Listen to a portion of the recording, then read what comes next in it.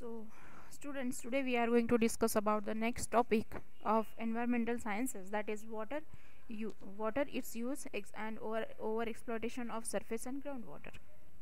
So, first we will see the water resources. Water is indispensable natural resources on this earth on which all life is depends. Although water is very abundant on the earth, yet it is very precious. Out of the total water reserves of the world, about 97 is a, 97% is a salty water. Most of the animal and plant have a 60 to 65% water in their body. Even 3% in a, uh, fresh water. Even this small fraction of fresh water is not available to us as, as most of it is locked up in a polar ice caps and just 0.003% is readily available to us in the form of ground and surface water. Now we will see the how water is being used. Due to the its unique properties of water, it is uh, of multiple uses for all living organisms. Water is absolutely essential for life. Most of the life processes takes place in a water contained in the body. Uptake of nutrient, their distribution in the body, regulation of temperature, and removal of waste are all mediated through the water. Human being depends on the water for uh, almost every developmental activity.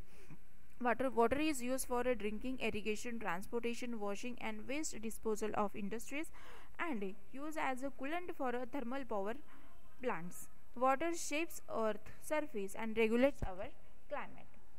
Now, we will see the next point that is over exploitation of surface water. Surface water is mainly misused due to which its quality and quantity both degrades. Since lakes, ponds, rivers, sea are, used uh, for dumping industrial and sewage waste, dead bodies, solid waste, etc.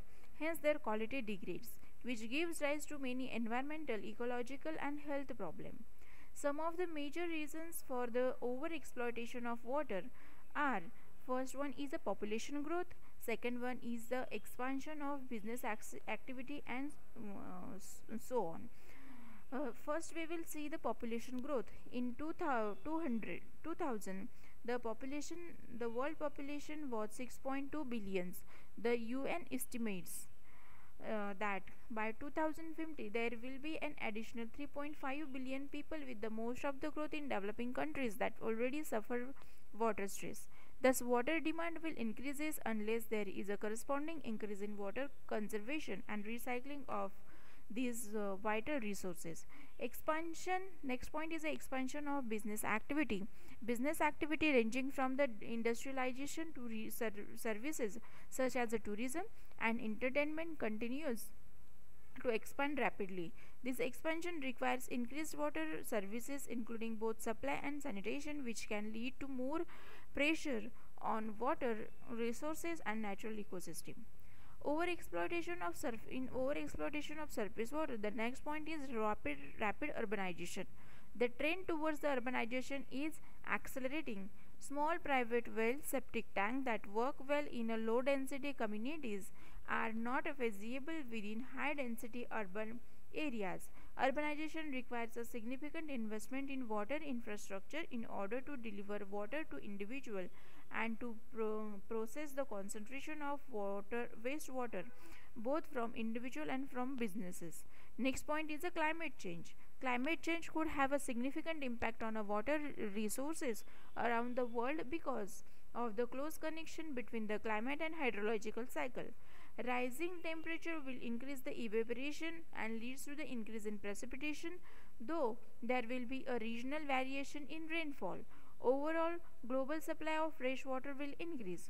Both drought and flood may become more frequent in a different region at different times, and dramatic change in a snowfall and snow melt are expected in a uh, mountain mountainous areas.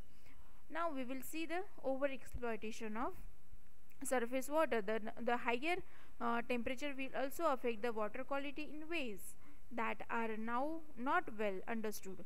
Possible impact include the increased eutrophication. Climate change could also mean an increase in demand for the farm irrigation, garden sprinklers, perhaps uh, even swimming swimming pool. Next point is a pollution. Water pollution in one of the main concern of the world uh, world today.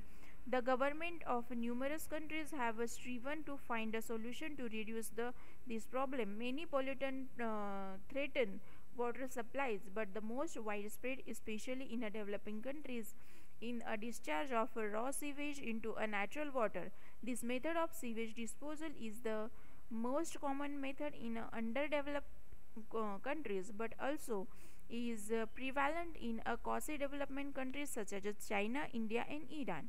In addition to the sewage, non-point source pollution such as agricultural runoff, it is a significant source of pollution in some part of the world along with the urban storm water runoff and chemical waste dumped by industries and a government. The next point is the overexploitation of groundwater.